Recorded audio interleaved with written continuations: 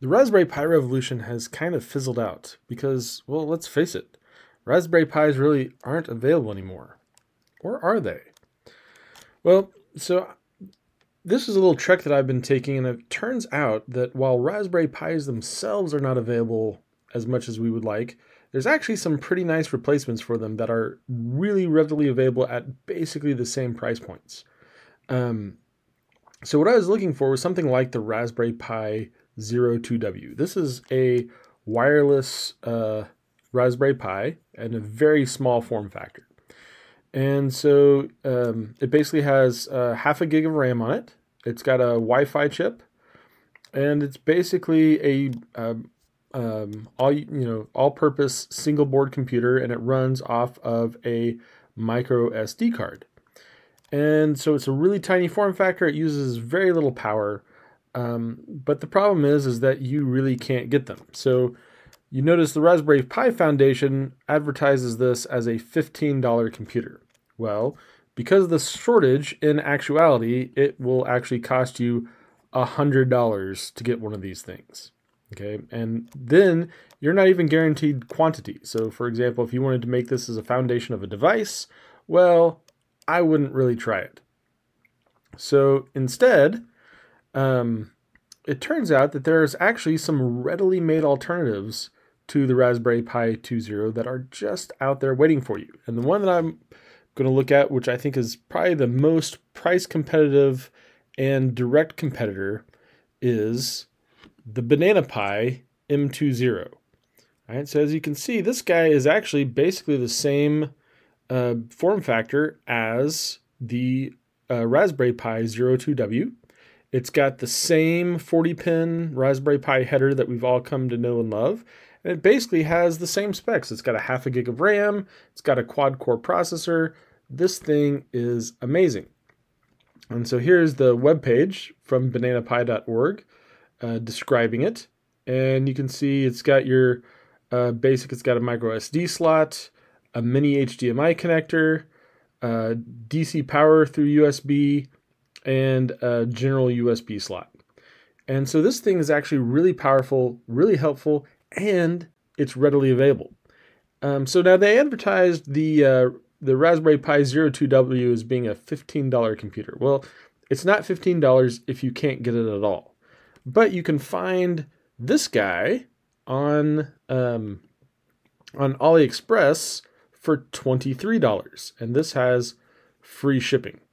And uh, now I actually haven't tried the one uh, directly from AliExpress. Uh, there's other there's other vendors as well that you can get it for. If if you go to AliExpress, the actual model is BPI-M20, and I would search for a price max of $24, and that'll give you several options to choose from. Um, now, as I said, I haven't actually ordered from AliExpress. I usually get mine from Amazon because it's got next day shipping. And so this guy's a little pricier. It's forty dollars, um, but it comes with this handy uh, USB connector. It comes with a uh, a Wi-Fi antenna, which you actually need on this, um, and it gets to you the very next day. So um, the nice thing about this is that you know if you say, well, I really want, I prefer a Raspberry Pi itself. Well, the nice thing about this is that even though it isn't a Raspberry Pi branded one, if you ever need this, as I said, for a large scale product with which you're going to actually ship in a product, you can find these. So if I go back to my Ali page, uh, they usually have um, how many they have available. Um, yeah, so this this this one seller has 1,252 pieces available, and so you can get just as many of these as you wish. Um, now, one thing that um, now you can hook this up to a standard monitor um, standard keyboard. But one thing that I actually really recommend because you usually use these things in places where you don't necessarily have a computer already, I recommend buying one of these things, or maybe not even if you're not buying this one in particular, something like it. What this is is a portable monitor and keyboard.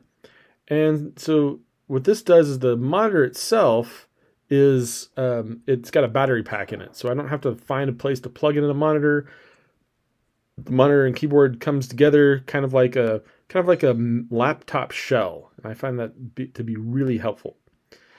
And um, so anyway, um, all that uh, together uh, gets me uh, the the actual banana pi, and so then we need to put software on it.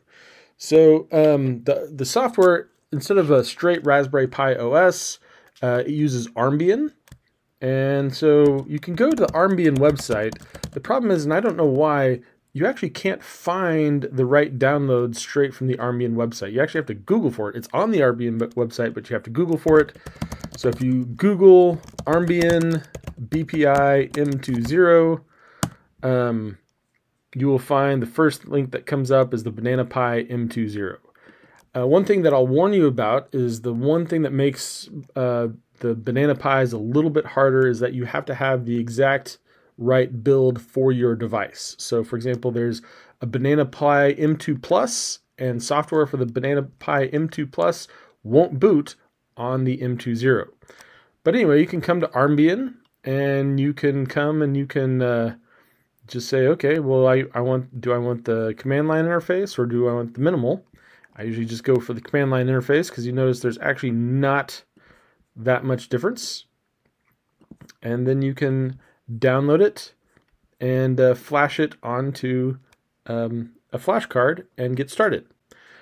Um, so uh, in a minute, we'll uh, I'll boot this up and show you what that looks like. But a few things to note is that um, the Banana Pi will, if it does not detect a display when it boots up, it will not turn on the display driver. So the two things that I've had uh, trouble uh, with the Banana Pi and trouble with these things are difficult because if something doesn't work, you can't really see what's happening.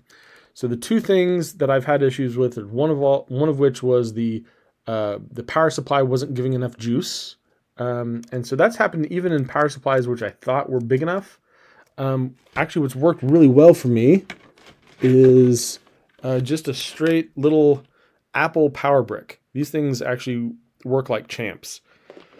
Um, and the other thing is having your monitor actually on before you plug it in. So one of the, especially with this guy, these things will go into sleep mode after about five to 10 seconds.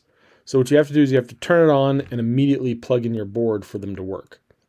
So the next step in the process after you download um, Armbian is to uh, flash it onto your flash drive. And I always use Balena Etcher for that. And you can find that at balena.io. And so they've got a version of, of Etcher for just about every platform. Um, I'm on a Mac, so I'm going to go in and I'm going to, so there's my download. I'm going to go to applications and open up Balena Etcher. I'm going to open it. Once it's open, it looks like this. And all you have to do is choose the file choose flash from file. And we'll choose that Armbian build I just downloaded, hit open. Then I'm going to select my target and it's going to show me, um, let's see here, did not find my media, I don't think. So that's my main disk. I don't know what that is, so I'll try um, Try plugging it in again and see if it finds it.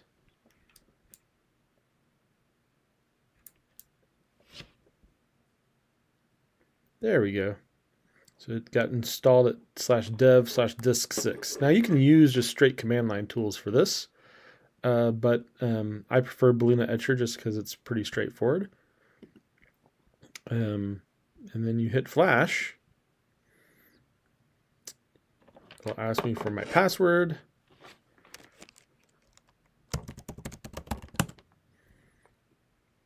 And then it will flash onto my drive.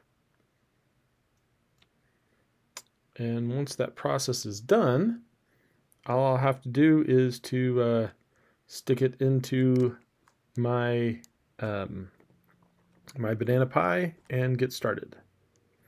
And while we're downloading, one thing I did want to note is that I did have to solder the headers onto this myself.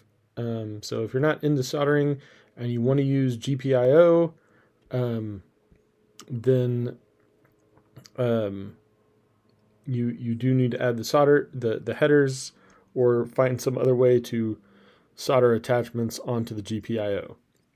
But soldering headers isn't hard. Um, it just took it took me about five minutes. Um, and also, I mean, soldering headers is also pretty error proof. I am terrible at soldering, um, and so these are pretty pretty resistant to um, bumbling around. You just have to, um, you know, take a little bit of care, but just um, these are these are hand soldered by me. So we're almost done flashing. And after it flashes, it'll validate it. And we can skip that if we want to, but I'll let it uh, flash to the end.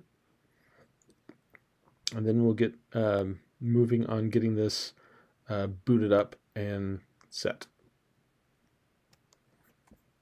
And I'll hit ignore because it's basically saying it's um, it's flashed with a Linux drive. Um, and so Macs don't read Linux drives, so it says, uh, I don't know what this is, so I'm just going to hit ignore because I don't care. And now I can eject it from my, um, um, i am using, I'll show you, I'm using this little guy to, uh, as an SD card reader. So it's got, it's got some USBs on, on, on the front, and it's got some SD card stuff on the back, and this is the micro SD card that I'm using. This is a 32 gig. Uh, you can use anything. I wouldn't recommend anything lower than four gigabytes, uh, but you can you can actually get some decent apps in four gigabytes. So, um, so all I have to do is uh, plug this in. Um, actually, I've got another one in there that's got another app I've been working on. So I'll unplug that, drop it on the floor, and then all I have to do is uh, put it in the slot and it's ready to go. All right, one other thing that I forgot to mention was that um, the Banana Pi does not work very well um, without an antenna. So I got, uh, this actually comes with the, uh, the Amazon package. It is a little, um, I put electrical tape on there just to prevent it from touching anything. It's a little uh, uh a little antenna. This is called a UFL connector.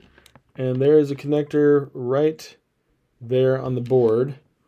And you basically just have to um, push that in.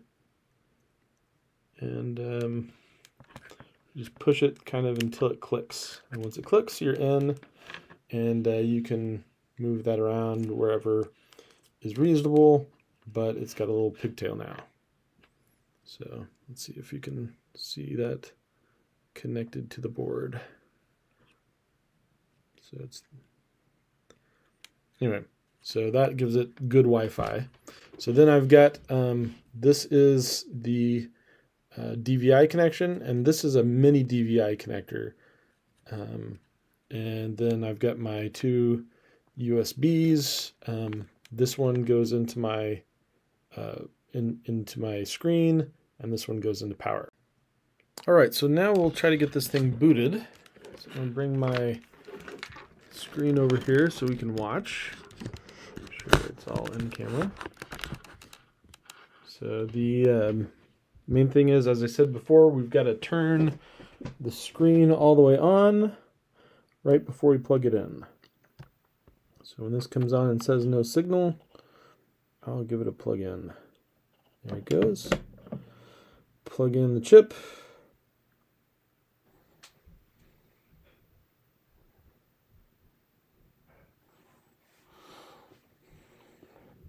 And there it is booting up. Just a regular Linux boot up, and then you'll set the password uh, when you get to the end. So um, the, when you first log in, um, it's a root login, and the password is simply 1234. And it'll ask you to change your password, set up a user, and set up your time zone, and that's pretty much it. You've got a running Linux box um, just right on, uh, just right ready to go. In short, there's no longer really any need for Raspberry Pis specifically. Um, now that we have Banana Pi and other competitors, all you have to do is find something with a matching price point and a matching 40 pin header and this Banana Pi Uh, M2 Zero is amazing, and I really highly recommend it and recommend it for your projects. Have fun.